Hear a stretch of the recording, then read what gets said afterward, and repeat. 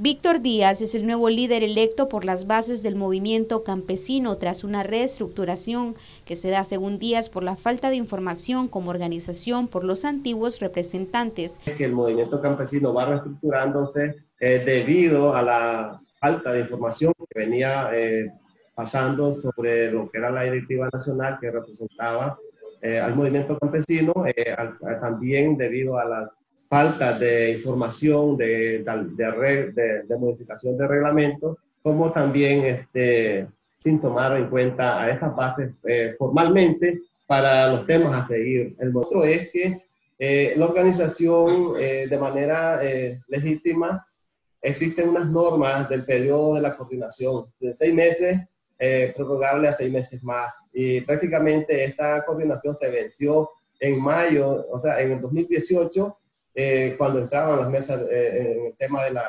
primer diálogo que hubo en, en, Nicaragua. Medardo Mairena, quien era la representación, afirma que ha buscado acercarse al nuevo dirigente para lograr un nuevo fortalecimiento de dicho movimiento, pero no ha tenido éxito. En este caso, eh, yo lamento, ¿verdad?, que Víctor este, está mintiendo con el hecho de decir que hay un nuevo este, eh, representante del movimiento campesino. Ustedes son testigos de que el movimiento campesino no está solo en la franja canalera. Víctor eh, vive en Río San Juan. Hay tres integrantes del Consejo Nacional en Río San Juan, que es el caso de Javier Carmona, Marcos Pineda y Leonel Fonseca, de alguna manera están en contacto con los líderes de ese territorio.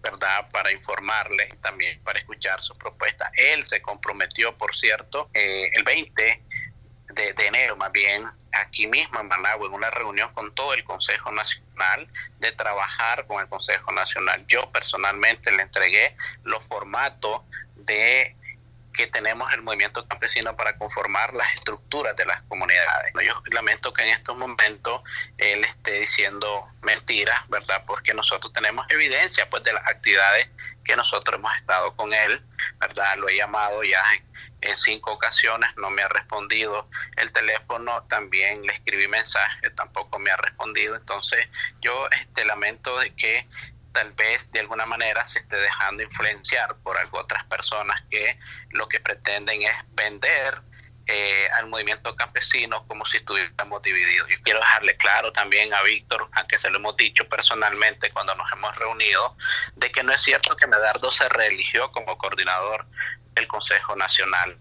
Exactamente, mi periodo de coordinación lo pasé en la cárcel obviamente de allí él sabe perfectamente que estuvo en la cárcel, que no se puede liderar un movimiento y lo que pasó es que cuando yo salí, estuve casi un año en la cárcel, ¿verdad? El Consejo Nacional de manera unánima me pidió que le apoyara para que eh, continuara o, o, regresara a coordinar el movimiento campesino, ¿verdad? Yo asumí el reto, ¿verdad? Decirle que ya este año se me vence mi periodo de coordinación y el movimiento campesino es el que va a decidir, ¿verdad? Si es Víctor, si es Medardo, pero si en este momento el movimiento campesino o los campesinos, ¿verdad? En sí me piden mi renuncia, yo no tengo ningún inconveniente de renunciar. Para Noticias 12, Gabriela Solórzano.